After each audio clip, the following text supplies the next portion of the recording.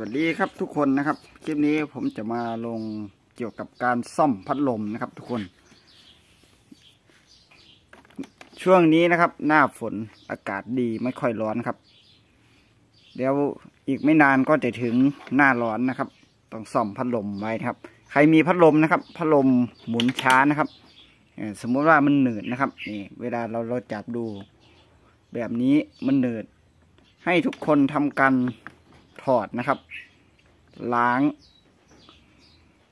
ล้างโดยใช้น้ำมันเบนซินนะครับ เพราะว่าน้ำมันเบนซิน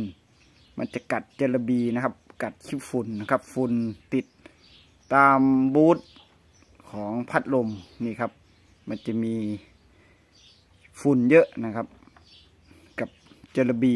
ที่ดำมากที่เหนียวทำให้พัดลมหนืดหมุนช้า ทำการถอดล้างบูทนะครับ ทุกคนนี่ล้างบูทหน้าบูทหลัง มันจะมีบูทหน้ากับบูทหลังนะครับ ให้ถอดล้าง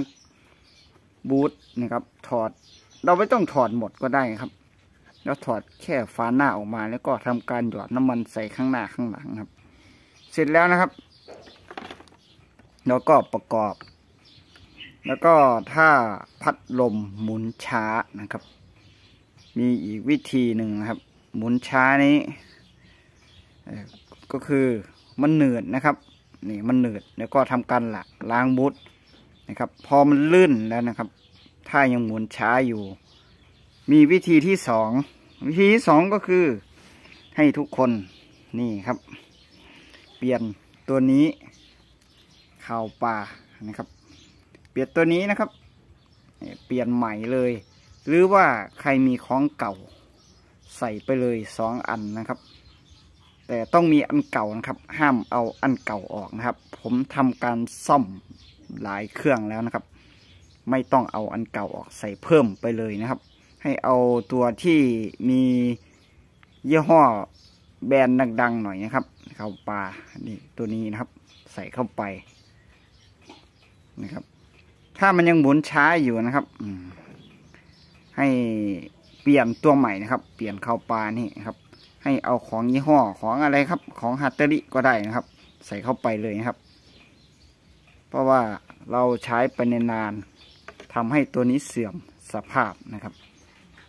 แต่ของเก่าก็ใช้งานได้ดีนะครับเราก็เพิ่มเข้าไปเป็นสองอันนะครับ โดยเราจะประหยัดต้นทุนไม่ต้องไปเสียเงินซื้อใหม่ ถ้าใครมีพัดลมเก่านะครับ ถ้ามีสองเครื่องนี่แบบนี้ เราก็แกะออกมานะครับ แกะออกมาสับเปลี่ยนใส่กันได้ง่ายมากเลยนะครับ ทุกคนนี่คือการซ่อมพัดลมหมุนช้านะครับ ใครมีพัดลมหมุนช้านะครับ ให้ทำการซ่อมไว้ใช้เองนะครับ นี่คือพัดลม เก่าที่ผมซื้อมาเนี่ยอีกหนึ่งเครื่อง ถ้ามีเครื่องนี้นะครับ มีสวิตปิดเปิดมันดี แล้วก็สลับเปลี่ยนอะไรใส่กันนะครับ พัดลมเก่าใครมีไม่ต้องขายนะครับ เก็บไว้เป็นอะไรซ่อมได้นะครับ แล้วก็ต่อไปนะครับ ใครเจอปัญหาถอดใบพัดลมยากถอดยากครับ ใบพัดลมเนี่ย เวลาเราจะถอดออกมานะครับ บางคนก็ถอดยากนะครับ บางคนก็แกะ แกะไปแกะมาใบพัดแตกนะครับมีมีผมมีวิธีที่ง่ายมากเลย ให้ทุกคนเอาน้ำมันเบนซินนะครับ เหมือนกันครับ ใส่ตรงนี้นะครับ ใส่ตรงแกนพัดลมนี่ครับ ใส่เข้าไปครับ ล้างทำความสะอาดนะครับ แล้วก็จะถอดง่ายมากเลยครับ น้ำมันเบนซินเท่านั้นนะครับ ที่จะเอาออกได้ง่ายมากเลย นี่คือเทคนิคการซ่อมพัดลมนะครับ แล้วก็สวิตช์นะครับ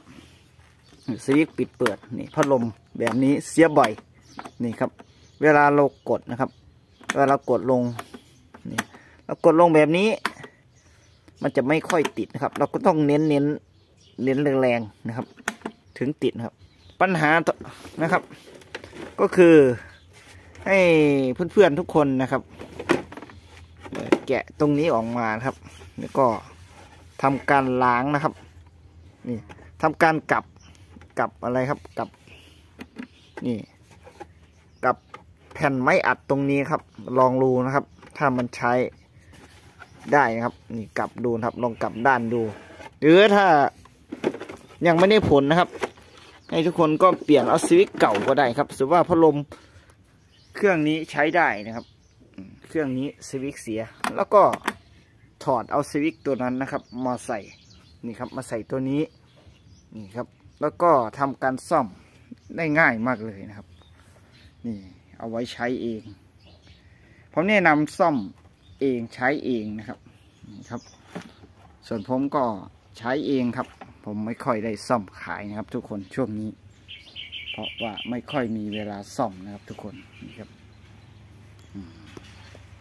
ก็ฝากกดไลค์กดแชร์ด้วยนะครับ ทุกคน